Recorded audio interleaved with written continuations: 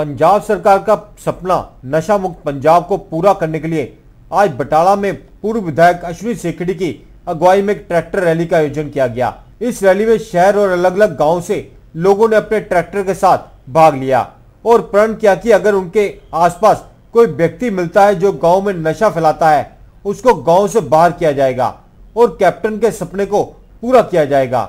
या ये भी बताना ज़रूरी है कि इस रैली से पहले एक निजी कॉलेज में कार्यक्रम किया गया जिसमें बच्चों को जमीन पर बिठाया गया जबकि इतनी भीषण ठंड थी और एक सभ्याचार प्रोग्राम का भी आयोजन किया गया ਰੈਲੀ ਜਿਹੜੀ ਹੈ ਨਸ਼ਿਆਂ ਦੇ ਖਿਲਾਫ ਕੱਢੀ ਗਈ ਹੈ ਦੁਨੀਆ ਦੀ ਸਭ ਤੋਂ ਵੱਡੀ ਐਂਟੀ ਡਰੱਗ ਟਰੈਕਟਰ ਰੈਲੀ ਬਣੀ ਹੈ ਹਜ਼ਾਰਾਂ ਟਰੈਕਟਰ ਹਜ਼ਾਰਾਂ ਟਰੈਕਟਰ ਜਿਹੜੇ ਨੇ ਉਹ ਉਹ ਇਕੱਠੇ ਹੋ ਕੇ ਪਿੰਡਾਂ 'ਚੋਂ ਆਏ ਸੈਂਕੜੇ ਪਿੰਡਾਂ 'ਚੋਂ ਔਰ ਸ਼ਹਿਰ ਦੇ ਲੋਕ ਔਰ ਪਿੰਡਾਂ ਦੇ ਲੋਕ ਇੱਥੇ ਇਕੱਤਰਿਤ ਹੋਏ ਨੇ ਵੀਐਮਐਸ ਦੀ ਗਰਾਊਂਡ 'ਚ ਅੱਜ ਪੰਜਾਬ ਨੂੰ ਬਚਾਉਣ ਦੇ ਲਈ ਪੰਜਾਬੀ ਜਾਗ ਉੱਠੇ।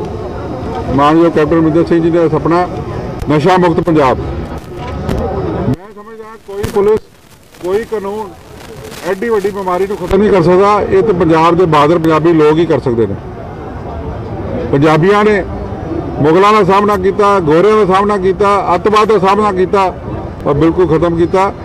ਅੱਜ ਪਾਕਿਸਤਾਨ ਦਾ ਜਿਹੜਾ ਇੱਥੇ ਇੱਕ ਨਸ਼ਿਆਂ ਦਾ ਅਟੈਕ ਹੋਇਆ। ਬਾਹਰੋਂ ਲਿਆ ਲਿਆ ਕੇ ਨਸ਼ੇ ਸਾਡੇ ਨੌਜਵਾਨ ਨਸਲ ਨੂੰ ਤਬਾਹ ਕਰਨ ਜਾ ਰਹੇ ਨੇ। ਇਹਨੂੰ ਖਤਮ ਕਰਨ ਦੇ ਲਈ, ਇਸ ਇਸ ਨਸ਼ਿਆਂ ਨੂੰ ਖਤਮ ਕਰਨ ਦੇ ਲਈ ਬਟਾਲਾ ਦੇ 81 ਪੰਚਾਇਤਾਂ ਔਰ 35 ਵਾਰਡਾਂ ਦੇ ਲੋਕ ਇਕੱਠੇ ਹੋਏ ਨੇ। ਜਾਗਰਤੀ ਲੈ ਕੇ ਲਈ ਬਟਾਲਾ ਸੇ, ਵਿੱਕੀ ਮਲਿਕ ਦੀ ਰਿਪੋਰਟ।